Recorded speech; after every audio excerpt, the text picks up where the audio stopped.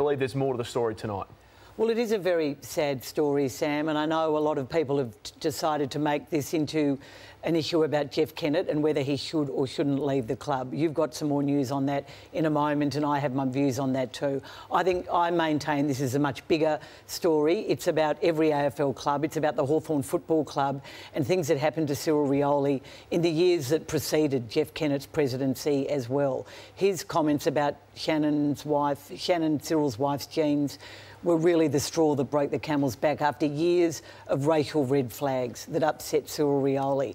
And I want to take you back to just one incident, and there are many we could talk about tonight, but some of them involve players still playing in the AFL, and for their own privacy, I'm not going to talk about that now until they're ready to. But we, I take you back to 2015 and a game that was played at the MCG against the Sydney Swans. I was at the game that night. Um, that it was that night that it really became apparent that football supporters were booing Adam Goodes. Mm-hmm. The booing was loud. I heard it. It was discussed at the AFL function I attended. It was discussed by Sydney bosses with AFL bosses, and it was played down by the Hawthorn leaders at the time. What we now know is that in the rooms at half time, several of Hawthorn's Indigenous players, including Cyril Rioli and Shaun Burgoyne, were very upset by what they were hearing on the footy field. At the end of the game, depending on who you believe, they actually talked about it to various leaders at the club. The players what, did. Yes, what is definitely known, what is definitely known is that later that week, Shaun Burgoyne met the CEO of the club, Stuart Fox, and the then president of the club, Andrew Newbold, to talk about his very deep feelings about what was going on with Adam Goodes. It is now known that there was a view among Hawthorn's Indigenous players that they felt the club should have put out some form of statement acknowledging what had happened to Adam Goodes and in some way acknowledging what the Hawthorn supporters had done. Hawthorn never did that. The view of Andrew Newbold at the time was that it was not racially motivated. They don't boo players like Cyril Rioli. That's not why they're booing Adam Goodes. We also know that some of these players did not want to play the following week, and I gather Alastair Clarkson became involved at that point. Now, these are, this is just one thing that happened at Hawthorn, and other clubs did not respond well to the booing of Adam Goodes either. But I've always felt that Hawthorn should have taken a stand that night because it got worse after that. There was the Carlton game just afterwards with the dance, and then it ended up with West Coast. And it was took actually another CEO, Trevor Nisbett, to have the bravery to speak out. Days after that booing, Hawthorn announced a $1 million Indigenous sponsorship with the Epic Good Foundation. There we see Hawthorn, some of their Indigenous players, including Cyril Rioli and Shaun Burgoyne, at the announcement. It is just unbelievable that they were receiving a million dollars over five years and yet they still only paid an Indigenous liaison officer to work for them one day a week. This is another thing that Hawthorn and Cyril Rioli, Cyril Rioli, I should say, was really disappointed in. Just one of many incidents, and even people who were bosses at that club at the time, some can't quite remember where the money went. No one's suggesting it was misappropriated, but did it go to the right programs for the Indigenous players who were there at the time? If Hawthorn don't conduct a review into what went on in the Cyril Rioli years and before, then they're kidding themselves. Because if they don't mend this relationship, it's going to harm the club for years to come. Well, we know what's happened with Collingwood. I mean, they've been to hell and back in the last um, couple of years, admitting to past failings. There's a fair bit to unpack out of that, Lloyd. There is. Uh, who, who, in that then, Caro? 2050. Who were the benchmark clubs who had all those those Indigenous officers and all that in order at that stage? And how to the point where I'm not trying to give them excuses, but say were we just too far behind the times at that point? The club I played at, Port, Port, Adelaide, was amazing in that space. They had an Indigenous officer, Paulie Vandenberg, for 11 years, uh, from 2010 up until. Who was only replaced last year by Shaun Burgoyne himself. And so now Paul Vandenberg. You can only speak on your own experience, yeah. but Mark Williams, through the programs we had, were amazing. Carol, I think that the most well, one of the most damning allegations in the piece that you wrote on the weekend was a comment made by a senior Hawthorn player that was directed at the partner of a teammate which then went to the leadership group. Have, well, the, leadership, have the leadership group responded to that? Because there were some big names in that group. Yeah, um, the leadership, some members of the leadership group have come to me and insisted they didn't know about this.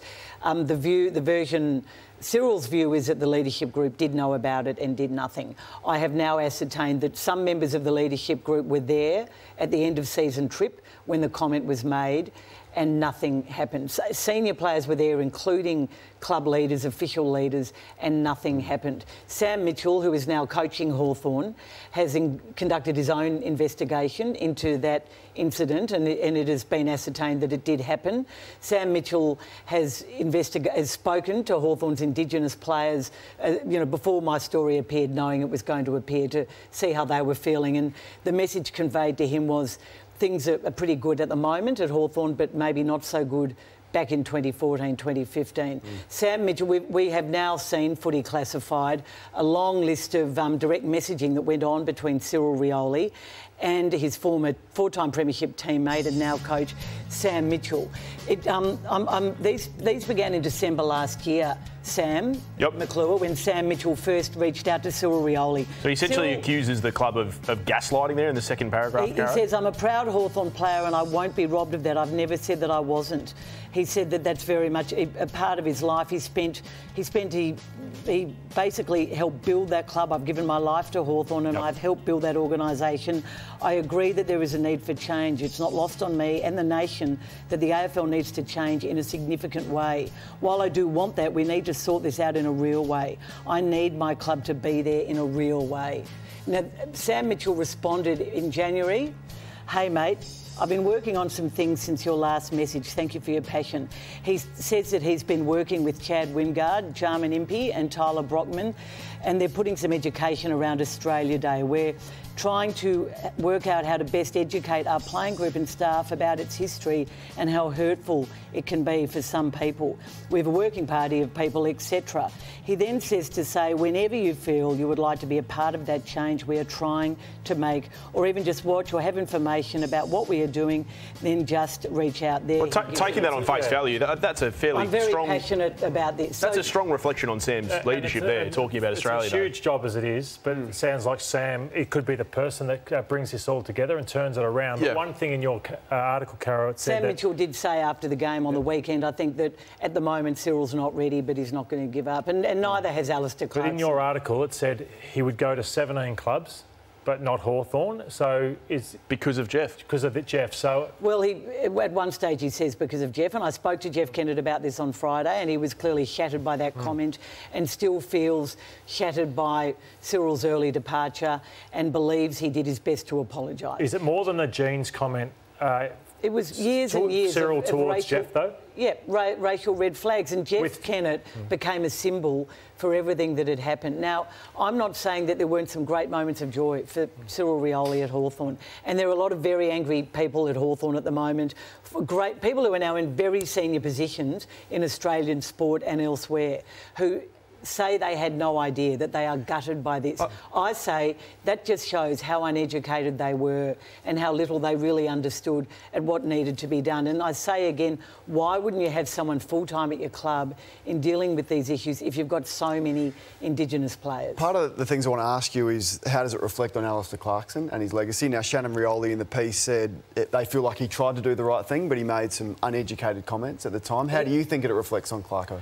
I, I, agree with what um, the Riolis say. I mean, Alastair Clarkson brought Indigenous players into Hawthorn after, you know, there had been an, you know, an unofficial sort of position by Hawthorn back in the 80s that they really weren't welcome. Mm. Um, Alastair Clarkson made great moves in getting great indi- and you know and they played wonderful football for him but at, at, times he made comments that were just uneducated and there's no hatred by the Riolis for Alastair Clarkson and he has no need to make his peace with, peace with Cyril for Hawthorn now he's doing it because he wants to and he's tried to as well but Cyril still feels just hurt by the entire club and I think at the moment anyone who was there at that time symbolises the hurt that he felt.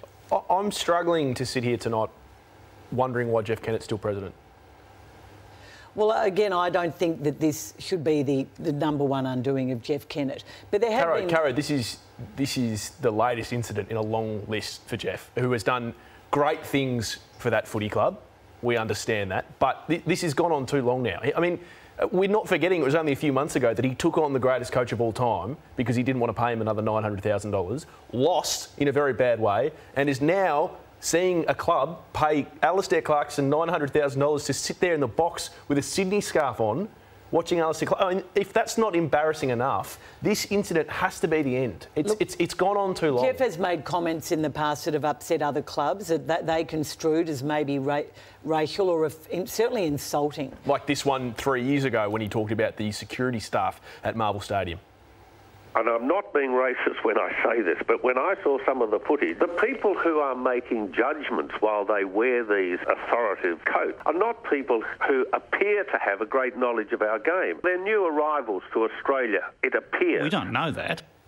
Oh, that's just the comments of a, of a, of a dinosaur. I'm sorry, Caro. We, it's 2022 now. You can't say those things and get away with it. And then we see what's happened. I, I, I was nearly in tears reading your article for what happened to the Riolis. It's, it's. Yeah, I'm not saying that's I mean, all on Jeff, by the way, but it, he has well, been around long enough to know mean, that it's about the optics. And I think the time for Jeff has been and gone. I well, really well. I think what has exacerbated the Hawks for Change movement is that Jeff went to a performance of Hamilton, I think, in the last few weeks, where he, I think he might have picked up COVID, but I think he made it clear to people there that he was going to dig in and that he wasn't planning on and stay longer anytime soon. And there's a real view that he should go. But I say again, he was not there for a lot of these incidents, and he has been the unfortunate recipient of the final straw incident that has shattered the Rioli.